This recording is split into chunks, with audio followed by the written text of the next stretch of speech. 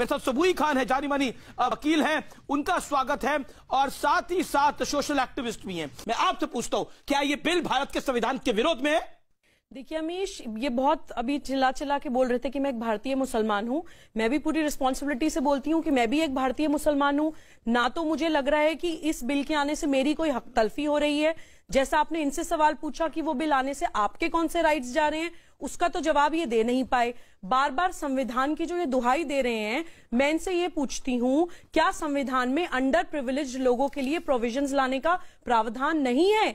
पहली चीज़। दूसरा, आप बोल रहे हैं कि धर्म के नाम पे ये किसी को स्पेशल राइट्स नहीं दिए जाने चाहिए। तो 1947 में धर्म के आप माइनॉरिटी थे उस वक्त तो आपके राइट्स प्रोटेक्ट करने के लिए आपको भी माइनॉरिटी का दर्जा दिया गया। आज तो आप माइनॉरिटी नहीं है, तीस करोड़ पैंतीस करोड़ पहुँच रहे हैं। स्टिल आप वो राइट्स जो आपको तब दिए गए थे आज तक एंजॉय कर रहे हैं। तब आपको वो अनकॉन्स्टिट्यूशनल नहीं लगता। तब आप एक इंडिया एक डेमोक्रेटिक स्टेट नहीं बोलते। Just give me few second Amish कि देखिए सिंपल सी बात है एक एलिमेंट्री क्लास के एक बच्चे को भी समझ आएगा कि सिटीजनशिप अमेंडमेंट बिल भारत की नागरिकता में चेंज लाने के लिए प्रपोज किया जा रहा है। कि तीन कंट्रीज़ की प्रोसिक्यूटेड माइनॉरिटीज को हम लोग नागरिकता देंगे। अगर आप वो उन छह कैटेगरीज में नहीं आते हैं उन प्रोसिक्यूटेड माइनॉरिटीज में तो आपको नागरिक बनने के लिए उसी नागरिकता कानून में दूसरे प्रावधान है। अगर आप मुस्लिम हैं और आप एक सिटीजन बनना चाहते हैं आप सिटीजन नहीं है जी, जी, तो जी. उसी सिटीजनशिप एक्ट में दूसरे प्रोविज़न है, है अदनान सामी को भी सिटीजनशिप मिली जी, जी, जवाब, जवाब, जवाब, जवाब। अमीश जी पूरी कॉन्स्पिरसी दबाई जा रही किसी की। पूरी कॉन्स्पिरसी बहुत सिंपल वर्ड्स में अभी एक्सपोज कर देती हूँ।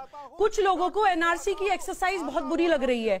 उन लोगों को करोड़ों घुसपैठिए बर्दाश्त हैं, चाहे वो इम्पोस्टर हो, चाहे वो इंटरनेशनल जासूस हो, चाहे वो आतंकवादी हो। सिर्फ़ इसलिए बर्दाश्त हैं क्योंकि उसमें बहुत सारे मुसलमान भी हैं। और उन्हीं सेम लोगों को सिटीजनशिप अमेंडमेंट बिल इसलिए बर्दाश्त नहीं है कि जैसे भी रहमानी साहब ने कहा कि बहुत चंद है।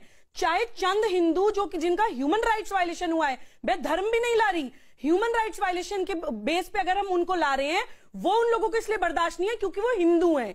मतलब इस देश से मुसलमान कोई बाहर ना चला जाए चाहे वो कितना ही गलत क्यों ना हो और इस देश में हिंदू कोई आना जाए चाहे वो कितना प्रताड़ित क्यों ना हो। तो माफ़ कीजिएगा ये नहीं देखिए माफ़ कीजिएगा ये वोट बैंक पॉलिटिक्स नहीं है इन्हें चुप कर लीजिए एक लाइन बहुत इंपॉर्टेंट बोलने वाली हूँ। माफ़ कीजिएगा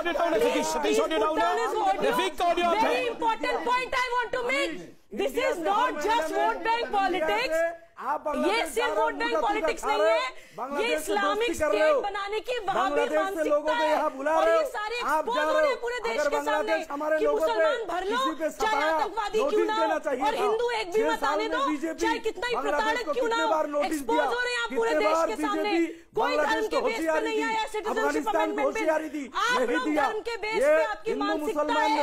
वो बंटवारा आपके दिमाग में धर्म के बेस पे जो कि एक्सपोज हो रहा है पर्दाफाश हो रहा है। बड़ा सिंपल सवाल।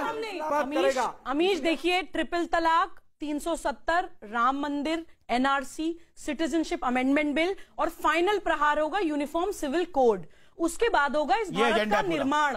उसके बाद होगा इस भारत का निर्माण जो सही मायने में सेक्युलर होगा। तब इनके लोगों के पेट में यह दर्द हो रहा है कि धर्म की जो राजनीति होती है इस देश में, वो खत्म हो जाएगी।